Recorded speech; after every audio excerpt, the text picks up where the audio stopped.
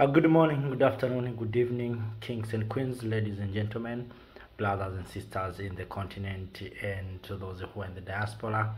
You are most welcome in our platform where we share thoughts, updates, uh, views, and sometimes uh, providing best solutions for our challenges and problems.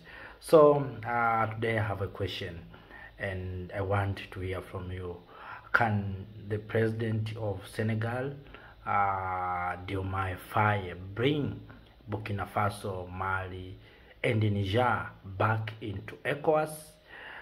Um, what is your thought? Because um, Mr. Faye was tasked on Sunday uh, with bringing uh, military load Mali, Niger, and Burkina Faso back to ECOWAS at the organization's summit in Abuja. So remember, Mali, Niger, and Burkina Faso already formed their own alliance and uh, take over several relations with um, their West African neighbors. So, do you see Diomaye Faye is going to succeed uh, this task uh, that has been assigned by the ECOWAS? And of course, uh, maybe because uh, Mr. Faye is the young uh, leader in the ECOWAS, if you look at the ages of many leaders in ECOWAS, many of them are aged. For instance, uh, President of Ghana is about 80 years Mr. Nana Akufo. If you go to President Tinubu, the age is gone. Um, Mr. Ouattara, Cote d'Ivoire, and many other uh, leaders in the ECOWAS, it looks they are uh, too old.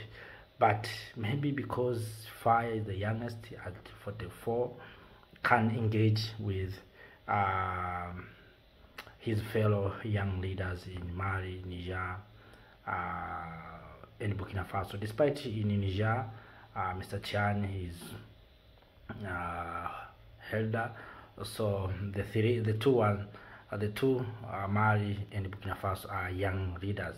Maybe that is the reason why Mr. Faye was appointed to take uh, this task to make sure that uh, Mr. Faye will bring back Mali, Niger, and Burkina Faso. But it is not a simple task uh, because these countries already take their own decisions, their own destiny.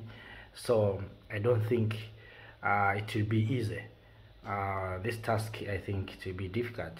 As I said in my, in my previous videos, that maybe even Faye himself will be confused to rejoin to the alliance of Sahel state because we have seen the uh, prime minister, I think, of um, Niger uh, invited uh, other members in the ECOWAS to join the alliance of Sahel state because uh, he said uh, during addressing the uh, the people in Kenya at the summit that the alliance of Sahel states is to cut uh, colonial uh, ties with their former colonies. So they have been exploited for too long.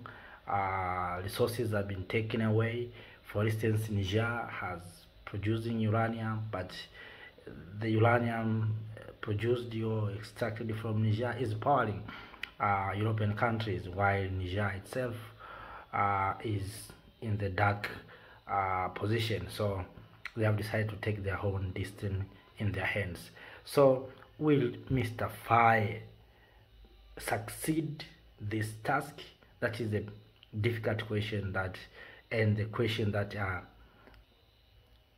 in the head in the minds of Africans waiting to see if Mr. Faye will succeed.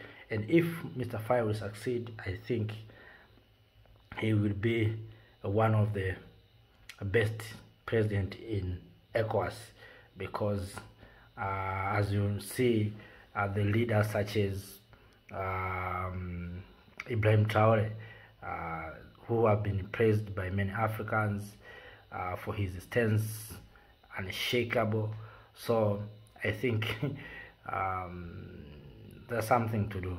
But all in all, I'm trying to ask that because we have seen that uh, this this task is difficult to Mr. Faye, but nothing is impossible.